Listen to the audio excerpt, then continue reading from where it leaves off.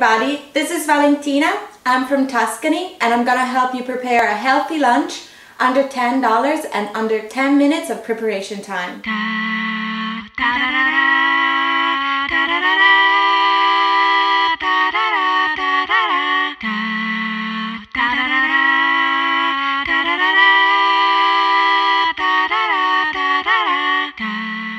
Today we're gonna make a grapefruit salad with celery, parmesan cheese and a little bit of lettuce.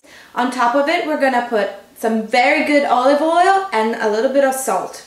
And if you don't like grapefruit, don't worry. I don't either, but the salt and the oil help get rid of that tart flavor that is uh, common of the grapefruit. So let's put our hair up and wash our hands.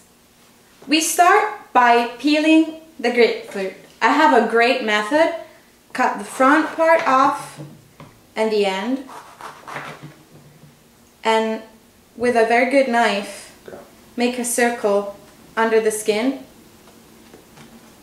and also on the other side. And then you can cut little lines along the skin. You'll see how fast I can remove the skin with this method. There you go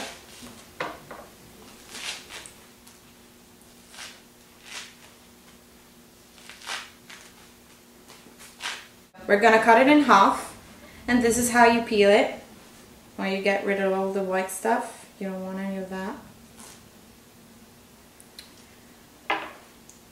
When you see the pulp, you put your finger under it and you push it out and you kind of rip it like this and you put it on the plate. And for the next slice, you cut very close to the center you pull the top, the layer of the skin and you do the same thing with the next piece of pulp.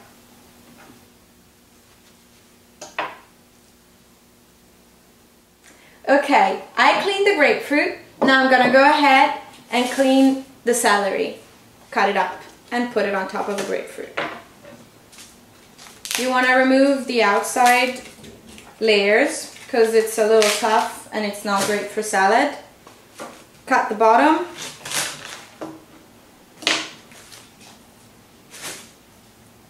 Open it and wash it. You're gonna cut the celery in thin little slices, just like this.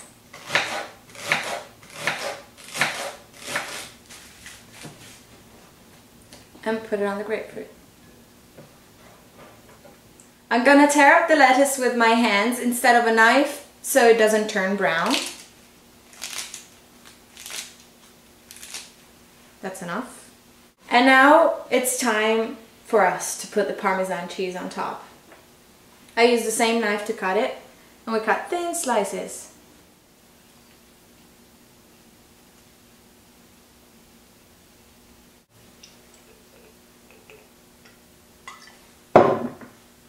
Took me five minutes to make this.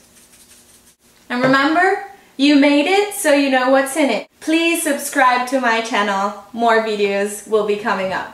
Thank you.